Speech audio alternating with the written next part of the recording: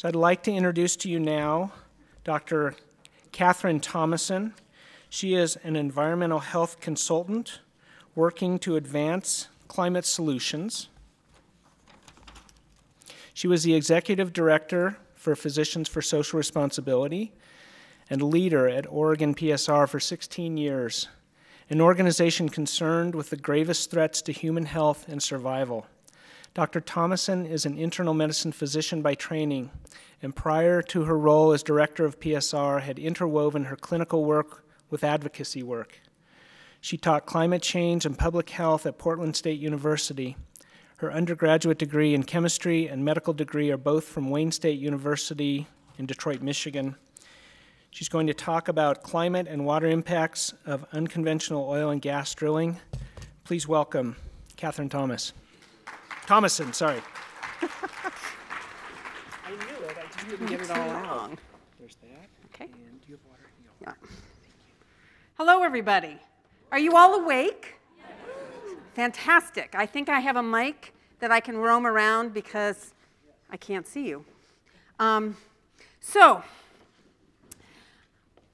you've heard a lot today, and I'm going to talk about a lot more. Um, and what I want to say first is eh, you can look at me and tell me that I like to eat, as we all do. And I have learned to cook vegetarian things like ginger carrot salad or sweet potatoes with peanuts and tomatoes instead of beef because we have 7 billion people on this planet that have to eat.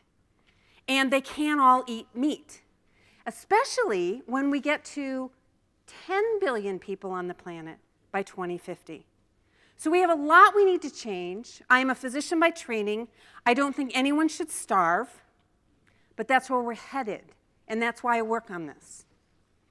Um, I think it's really important for people to link fossil fuel drilling and uh, fossil methane, also known as natural gas, with climate change. And I think that health professionals should know what are the health impacts of climate change. And that um, one of the things that haven't been talked about at this, um, in this forum that I've heard so far is about wet well water testing and what are our water issues. Um, as well as the consideration of policies. And maybe we'll have a couple minutes where people can talk about what they think the policy should be that should change. Because we can't tell our patients to move away from a gas well. Okay, so this hasn't been talked about much, but maybe everybody knows all about it. Um, there is potential water contamination. What is the biggest water use in Colorado? Right. 86% of our water in Colorado goes to agriculture. Less than 1% goes to fracking, but fracking can harm agricultural water. Okay, so that's a big important issue to think about. So, oh, I even have a pointer. Um, so people were sort of asking about, well, does, where does all the air emissions come from and the water problems and so on? Well, if done well, there shouldn't be there shouldn't be any water contamination because the well that's sunk miles, a couple, know, mile or two down is supposed to have a cement casing all the way through the aquifer. Now, that's what is supposed to happen to prevent the stuff going down to get into the water table and the stuff coming back up to get into the water table. But you can have these ponds that are letting VOCs go. You have the backflow that's being um, held on site. You have spills that can occur. So there's a lot of other places for these chemicals to get into the water. Um, and, and we'll talk about some of those as well.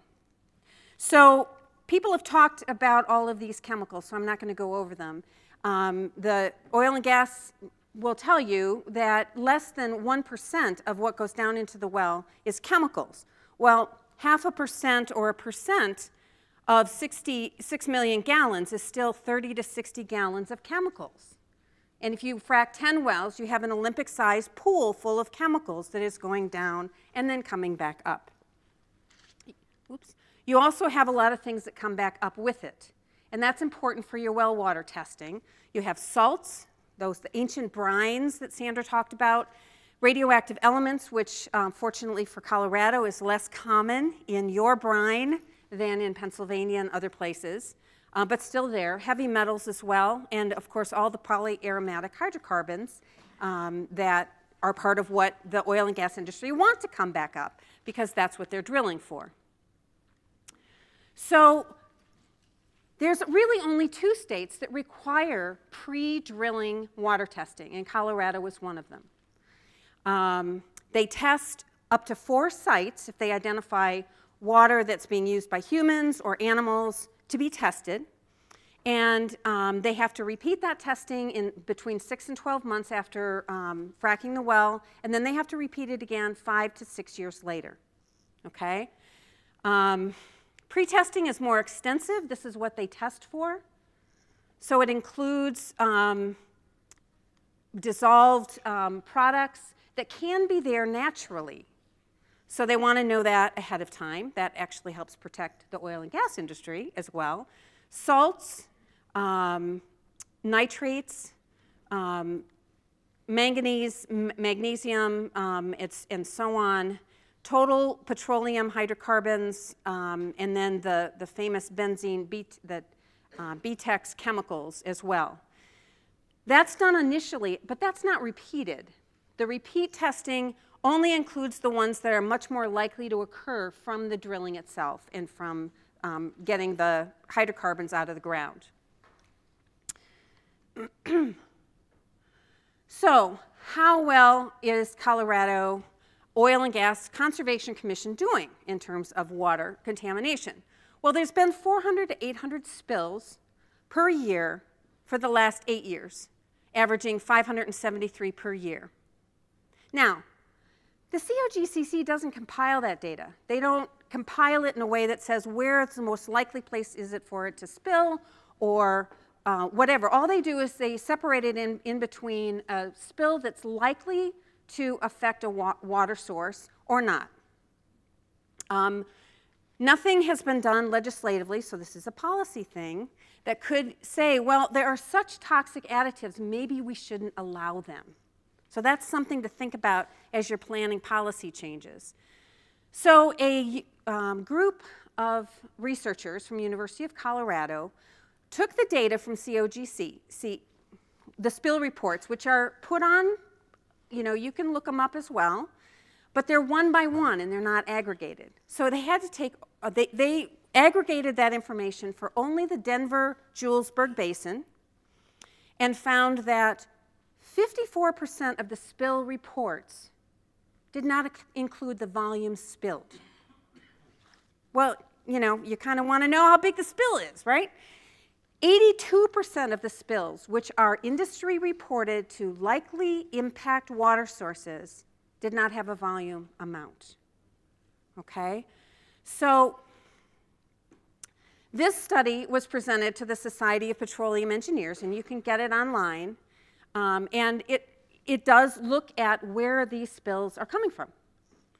Um, they actually excluded all the potential spills that you saw the pictures of earlier, that condensate tank floating down the flood, um, because they wanted to see, well, what's, what's going on with business as usual? Um, they um, analyzed only the spills that potentially impacted water, groundwater or surface water. And of those, over the, the um, year period, 2007 to 2014, um, between 30 and 50 percent of the spills were determined to impact groundwater. And they showed the trend that actually, that actually declined some over time. The most common problem was equipment failure. So the tank batteries, and I think of batteries and I think of something I put in my phone or, you know, my keys or whatever, but these are just holding tanks for the brine, for the oil, for the various things that are coming up out of this well. That is the most common place for a spill to occur. The second one is all these different lines. So they have lines that go from location to location on the sites, off the sites, gathering lines so that they can pull this uh, material together so that they can then put it in a pipeline after they've processed it. Um, only 23% are from human failure or human error. Um, so they looked at this data, and 15% or more of the spills that occurred between 2007 and 2011 have not been cleaned up.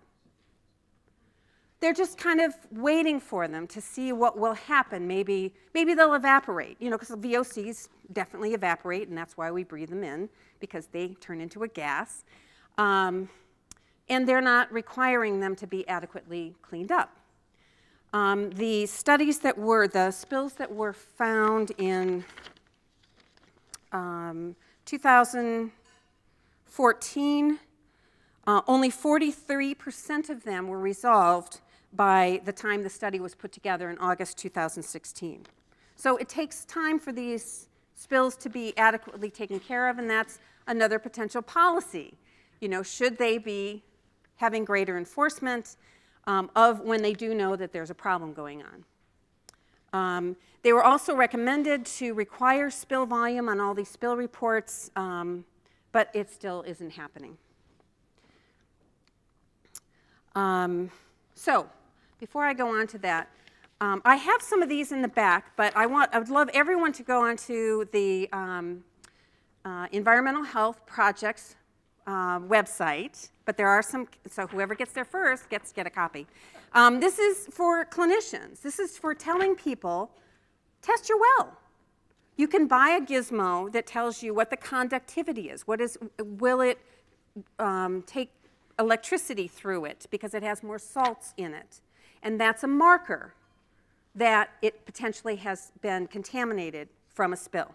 Okay, so that's something that individuals can do. And this is for well water.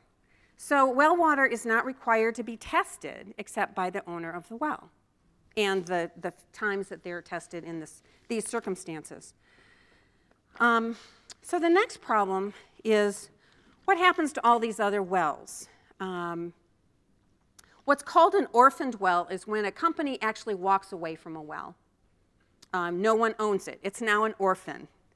Um, the company's gone bankrupt. The most amazing case was one that I found from Atom Petroleum, who actually bought 50 wells online from a previously bankrupt company, thinking they could get more oil and gas out of those wells, which maybe they could, which they did actually. So they worked those 50 wells, um, but they had a lot of fines. They had a lot of violations.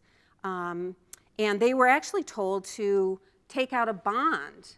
So a lot of companies are required to take out bonds so that it covers them in case they lose money or they have a spill and it has to be taken care of.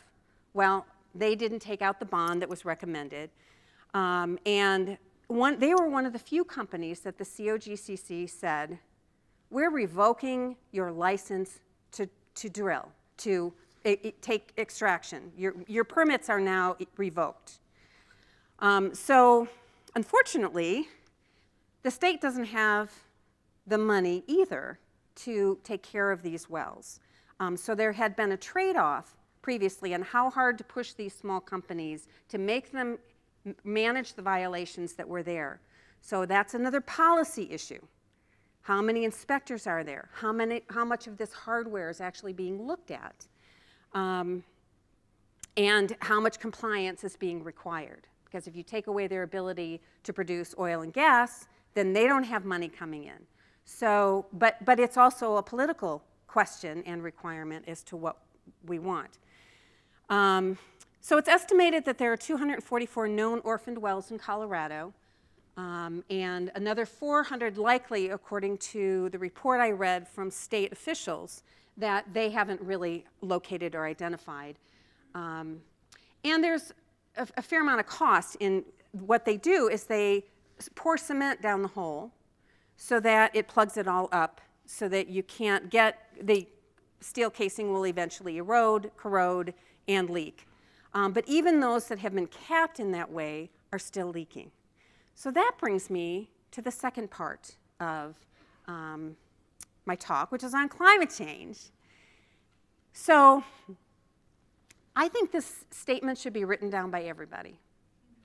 This is a statement that has been um, created and refined by communications experts at Yale and George Mason that when used, not with die-hard deniers, but with skeptics, opens them up to hearing you more about climate.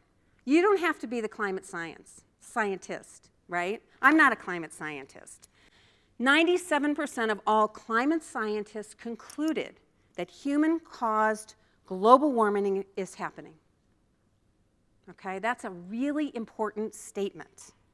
Okay, now if 97% of nurses and physicians told you that you should treat strep throat with penicillin or an antibiotic and you're a child, you would do that for your child, right? So this statement is a really important statement because we have a health emergency. Climate change is a health emergency. So this opinion paper went along with a 14-page paper that you also can download for free from the website on health impacts of climate change from the January 19th New England Journal of Medicine. So, what are the top three heat trapping gases? I won't call them greenhouse gases because we all like our greenhouses. Heat trapping gases. Shout them out methane, carbon dioxide, ozone, water vapor is number one. Uh, carbon dioxide is number two, methane is number three, and ozone is fourth or fifth. Okay, so we're talking about the top ones. Nitrous oxides are right up there as well. And what are they doing? Well, they're making everything hotter.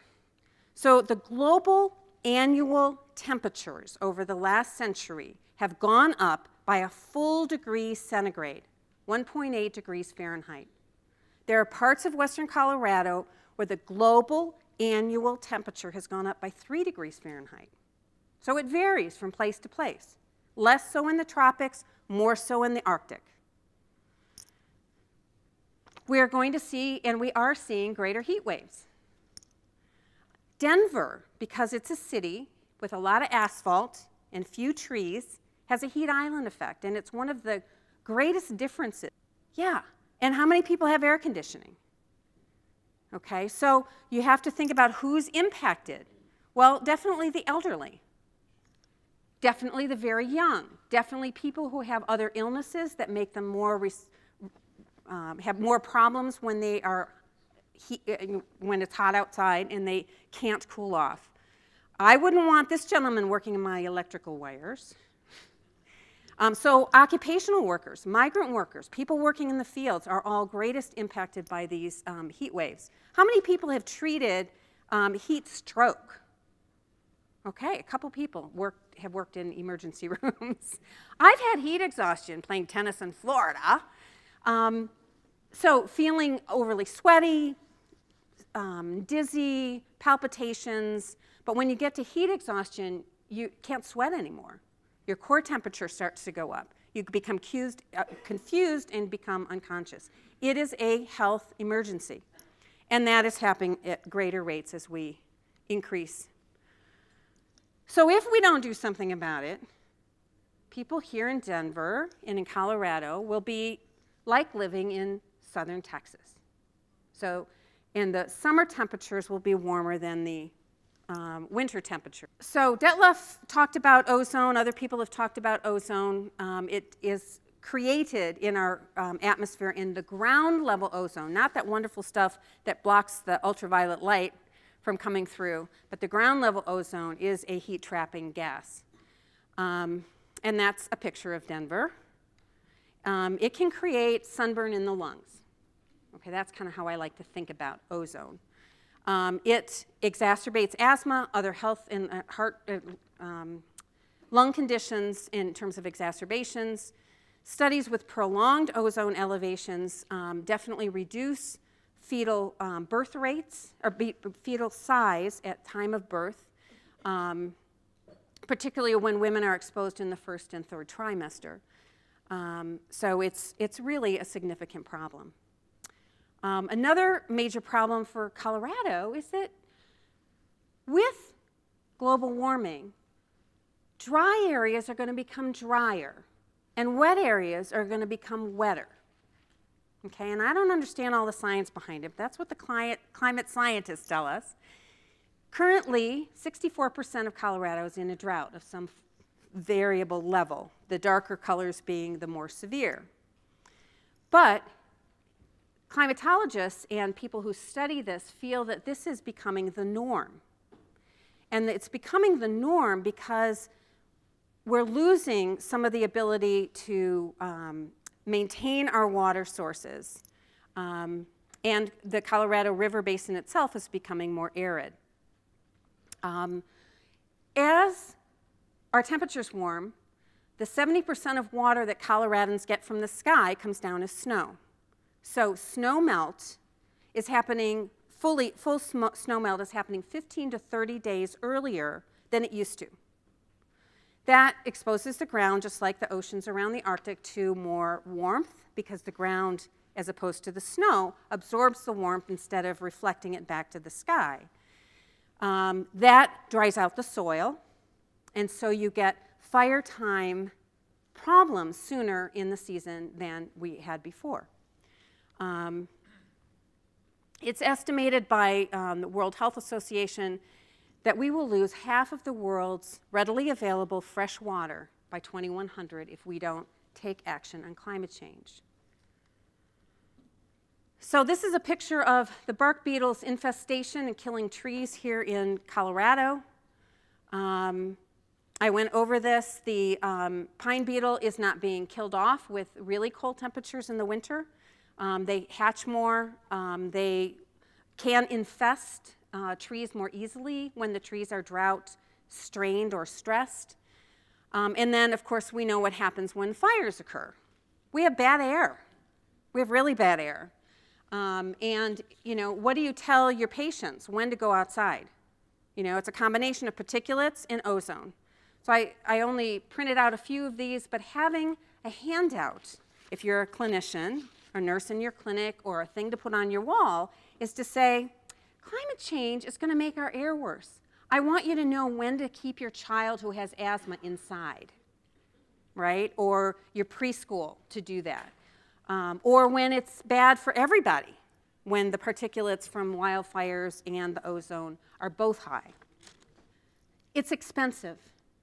So there have been numerous economic studies that show that if we address climate change now and invest in healthier ways to produce electricity and heat and transport ourselves, we will have less billion dollar weather events. So these are the $11 billion weather events that occurred in 2018 including one here in Colorado, which was a hailstorm. So these are the impacts of climate change economically as well.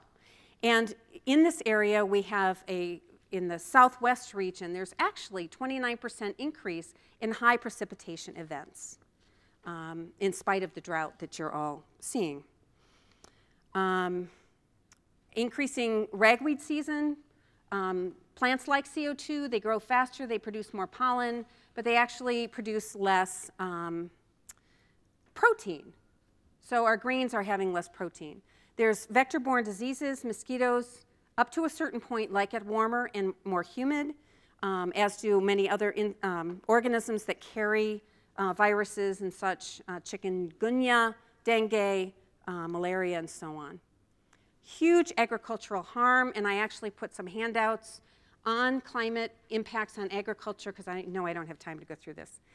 Um, on the back table that you can also find at the PSR website under resources. Um, we don't air condition our chicken facilities or our cow facilities. Um, and so in the 2012 severe drought, that impacted 67% of cattle production across the country. High nighttime temperatures reduce rates of milk and egg production and grain yield. And all of these things make food costs go up. And that's a global problem, as you can see here. So the number of migrants that are happening because of drought, flood, loss of food, conflict. Syria conflict happened after four years of severe drought in a country that previously always fed itself. They did not have to import grain and the impacts on mental health. the people who were in Hurricane Katrina or Hurricane Sandy were traumatized, especially children. So I'm not going to go through this. And there's a handout in the back on climate change as well. We're approaching a tipping point. Um, we have typically negative feedback loops. When we get hot, we sweat and we take our shirt, our jackets off, right? When the planet gets hot, it actually creates more heat trapping gases by melting permafrost or more absorption from the sun in our um, non ice areas. IPCC, Lancet, National Climate Assessment all agree, as did the Paris Treaty, that we should be limiting to 1.5 degrees centigrade. That means we've already gone up one degree, we can only really go up another 0.5. Otherwise, we're really setting off tipping points that will make it much more difficult. So, policy we have to cut global greenhouse gases in half by 2030 to meet this target. So, do we want to drill more? you know, that's, that's the existential question. um, how many people have gotten rid of natural gas in their home? A few people. Heat pumps are fantastic. And this methane leakage, which we don't have time to go through, is huge. Um, it's as bad in some people's minds as coal, but it's still burning and creating CO2 even when it's burned. Um, cut the beef. Um, um, lots, of, lots of ways. We have the technology to do what we need to do. We need the political will. And it's a cash crop for Colorado. So Xcel is shooting for 55% wind energy, electricity by um, 2026. Ground sourced heat pumps in all public buildings, in all new schools, in all new hospitals. And there's my new heat pump. So there's lots of resources. Um, I'll leave that slide up. I know that you've been hearing about PSR, but there's a lot of groups here who are working on these issues that are so important to um, have us all working together so that we can create policy change in the legislature. Thanks.